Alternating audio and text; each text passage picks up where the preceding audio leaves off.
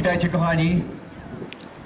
Ja nazywam się Michał Korgol i zachęcam każdego z Was, który w tym momencie ma okazję słyszeć te słowa, abyś przystanął na chwilę i posłuchał tego, co mamy Ci do powiedzenia.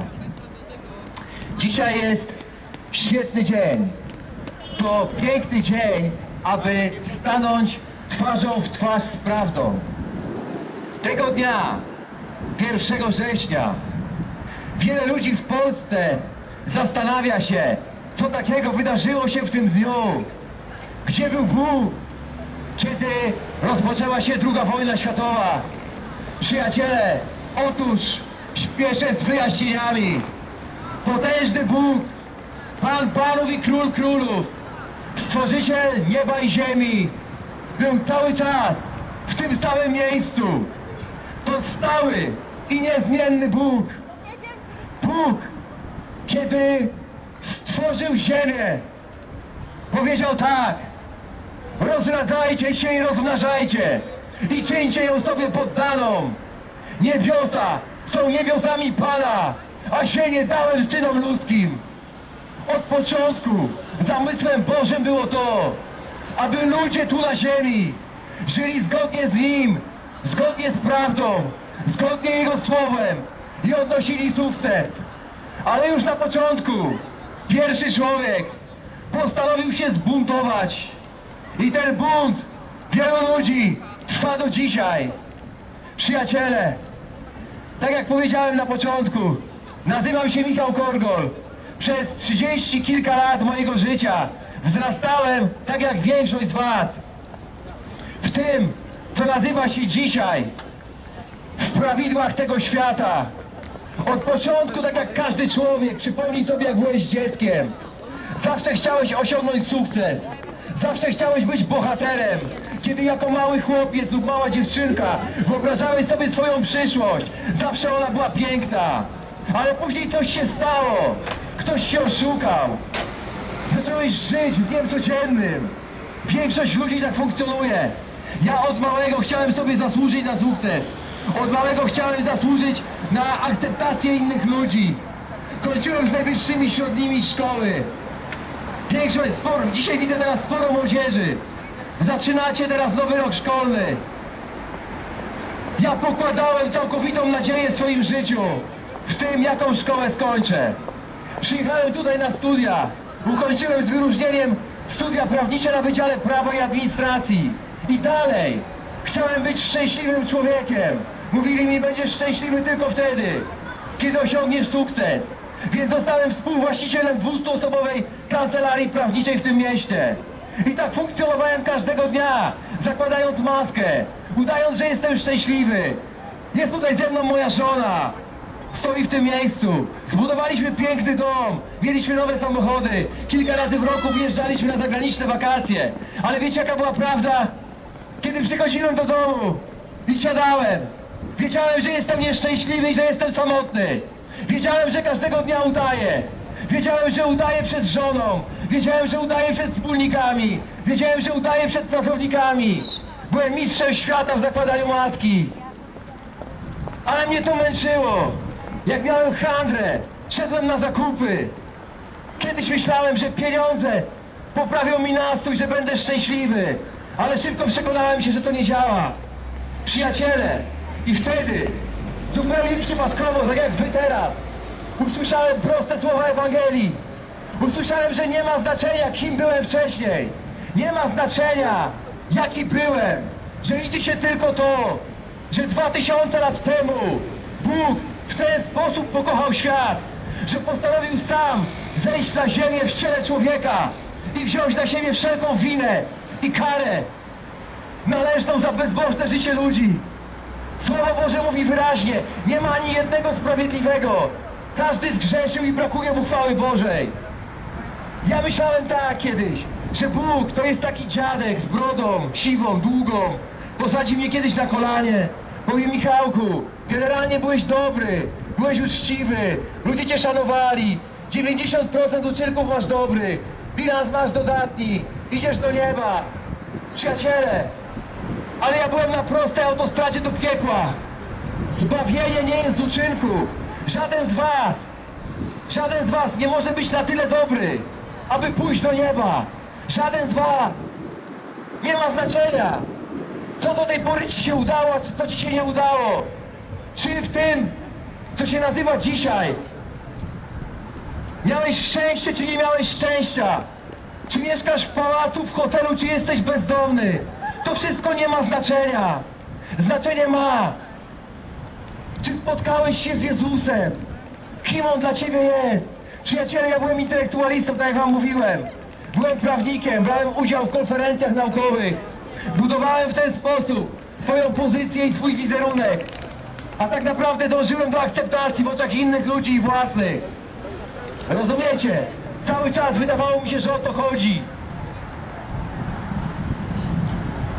Ale kiedy usłyszałem proste słowa Ewangelii, kiedy usłyszałem, że są ludzie, którzy mówią, że poznali Jezusa osobiście, to ja stwierdziłem, to jest niemożliwe. W głowie intelektualisty brzmi to niedorzecznie. Postanowiłem, że ja muszę to sprawdzić. Zacząłem wołać do Niego. Zacząłem mówić, Jezus, jeśli Ty żyjesz, jeśli Ty jesteś realną osobą, a nie wyrzutem sumienia starych ludzi, którzy się boją, jeśli Ty nie jesteś obrazkiem, nie jesteś figurkiem, choinką, bombką i inną bzdurą, jeśli jesteś realny dzisiaj, to ja chcę Cię poznać, jak ci ludzie, którzy mówili mi o Tobie. Przyjaciele, nie jestem w stanie tego intelektualnie wytłumaczyć, ale za, kiedy zacząłem tak wołać do Niego, bardzo szybko wewnątrz mnie powstało bardzo silne przekonanie o grzechu, o sprawiedliwości i o sądzie. Wiedziałem, że bez Jezusa jestem nikim. Wiedziałem, że Go potrzebuję, chociaż w ogóle tego nie rozumiałem. Pamiętam któregoś dnia zamknąłem się w łazience mojego pięknego domu i zacząłem błagać i wołać do Niego. Przyjdź i mnie uratuj, bo nie chcę udawać. Przyjdź i mnie uratuj. Przyjaciele, nigdy wcześniej nie miałem w ręku Biblii. Wydawało mi się, że jest to książka dla słabych ludzi, którym w życiu nie wyszło. Ale tego dnia w łazience, wołając go, mówiąc przyjdź mnie, ura- przyjdź mnie uratuj, wierzę, że Ty jesteś Bogiem. Narodziłem się na nowo. Przyjaciele, jednym z głównych poselstw, które Jezus wygłosił, kiedy chodził w ciele po ziemi, było to, że każdy z was, każdy człowiek musi narodzić się na nowo. Nieważne, jak do tej pory rozumiałeś swoją pobożność. Którejś nocy przyszedł do Jezusa dostojnik żydowski, faryzeusz o imieniu Nikodem. Wszyscy go poważali. Wszyscy poważali członka Sanhedrynu Nikodema. A on przyszedł do Jezusa i mówi, mistrzu, o co chodzi? Widzę, że czynisz wielkie rzeczy. Jezus mówi mu tak, dopóki nie narodzisz się na nowo, nigdy nie wejdziesz do mojego królestwa. On mówi, ale jak? Ja mam prawie 70 lat. Jak mogę powtórnie wejść do łona matki? Jezus mówi mu, nic nie rozumiesz. Dopóki nie narodzisz się z mojego ducha, nigdy nie wejdziesz do mojego królestwa. Przyjaciele, nowe narodzenie nie jest dla wybranych. Nowe narodzenie nie jest na szóstkę, na świadectwie szkolnym czy w indeksie. Nowe narodzenie jest dla każdego człowieka. Jednym z celów Twojego życia tutaj jest to, abyś rozpoznał Jezusa jako Boga. Oddał Mu swoje życie. Wziął zwycięskie życie tutaj na ziemi, a następnie, abyś wstąpił do nieba. Przyjaciele, to bardzo proste. To bardzo proste. Ale od wielu tysięcy lat diabeł próbuje to komplikować. Nie ma znaczenia, ile razy byłeś w kościele, jak często do niego chodzisz. Liczy się tylko to, kim dla ciebie jest Chrystus na poziomie twojego serca. Czy spotkałeś się z Nim? Czy kiedy dzisiaj rano wstałeś, czy wstałaś? Planowałeś dzień? Czy to wszystko było oparte na Jezusie? Kiedyś te słowa brzmiały dla mnie niedorzecznie. Dzisiaj stoję przed, przed Wami z perspektywy mojego życia. Blisko 8 lat temu narodziłem się na nowo. 8 lat temu spotkałem się z Bogiem w duchu. On jest duchem. Spotkałem się z Nim. Od tych 8 lat zwyciężam w życiu, niszcząc dzieła diabła. też możesz tego doświadczyć. Wielki, doskonały plan zbawienia na tym polegał. To, co powiedziałem wam na początku. Pierwszy człowiek się zbuntował, pomimo że wcześniej Bóg przekazał mu panowanie na ziemi. On dobrowolnie przekazał je diabłu.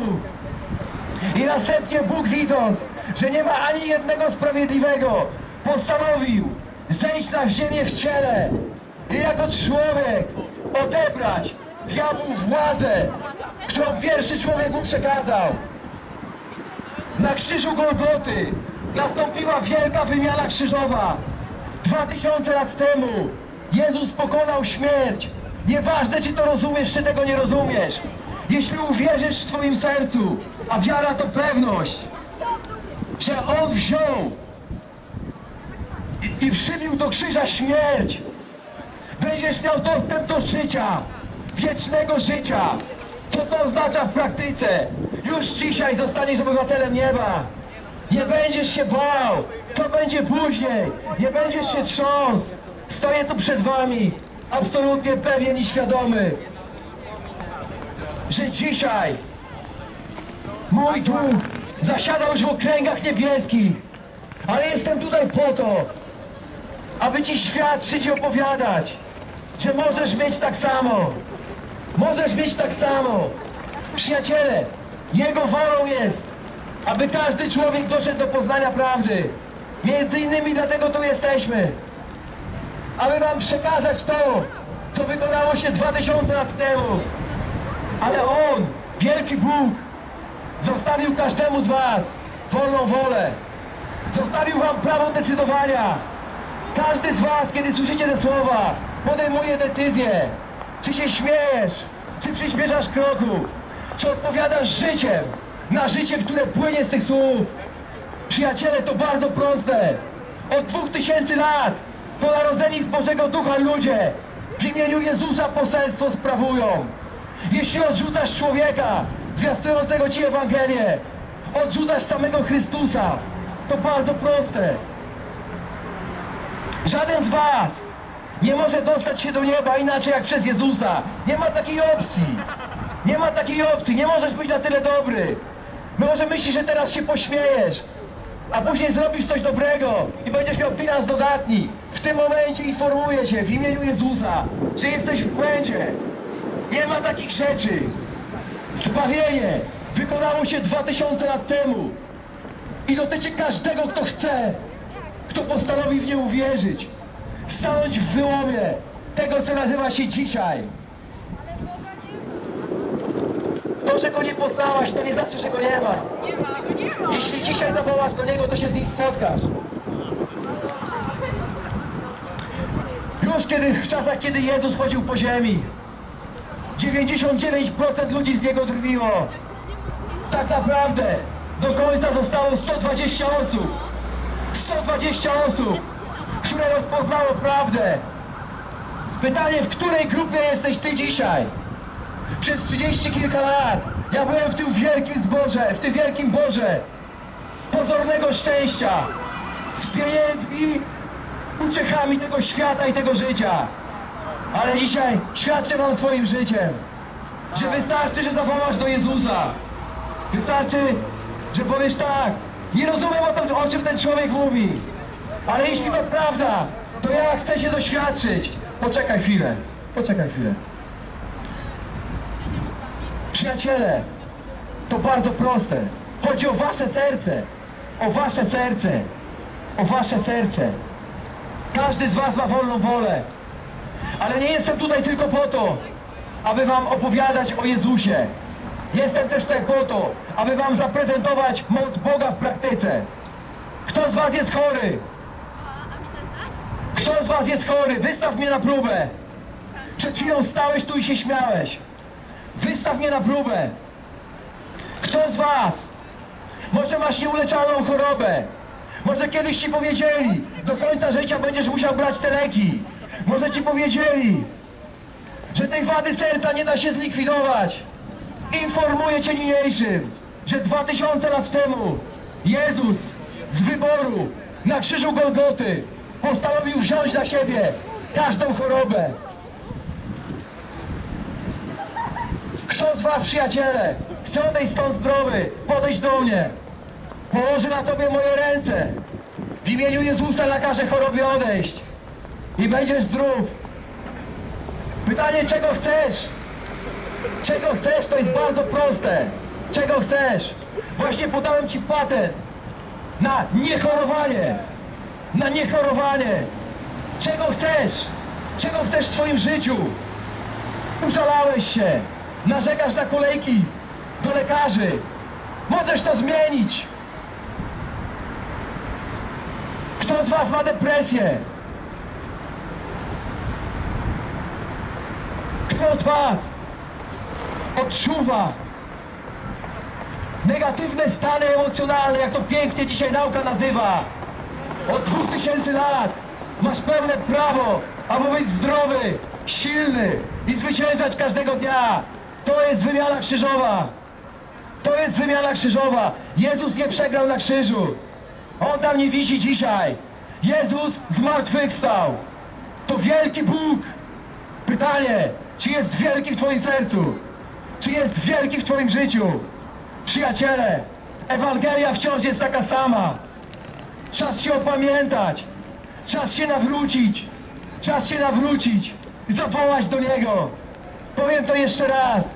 Osiem lat temu z głębi swojego serca zawołałem Jezus. Przyjdź i mnie uratuj. Wierzę, że jesteś Bogiem. Wierzę, że zmartwychwstałeś. Przyjdź i mnie uratuj. Decyzja należy do Was. Decyzja należy do Was, przyjaciele. Jesteśmy tutaj dla Was. Jeśli ktokolwiek z Was chce doświadczyć uzdrowienia, uwolnienia, albo pojednać się dzisiaj z Bogiem, jeśli dzisiaj chcesz zostać obywatelem nieba, jesteśmy tu dla Ciebie. Ale pamiętaj, nie potrzebujesz do tego żadnego pośrednika. Możesz pójść do domu, czy tam, gdzie zmierzasz teraz. Stanąć w swoim pokoju, łazience, kuchni. To nie ma znaczenia. I powiedzieć, Jezu, ja rozpoznaję moc w tych słowach, które słyszałem. Ja wierzę, że Ty jesteś Bogiem. Wierzę, że zszedłeś na ziemię w ciele. Że poszedłeś na krzyż z wyboru i z miłości. Wierzę, że zmartwychwstałeś. Wierzę, że wstąpiłeś do nieba. Bądź Panem mojego życia. Podaję Ci każdą część mojego życia. Jeśli zawołasz w ten sposób, spotkasz się z Nim jeszcze dzisiaj. Amen. Amen.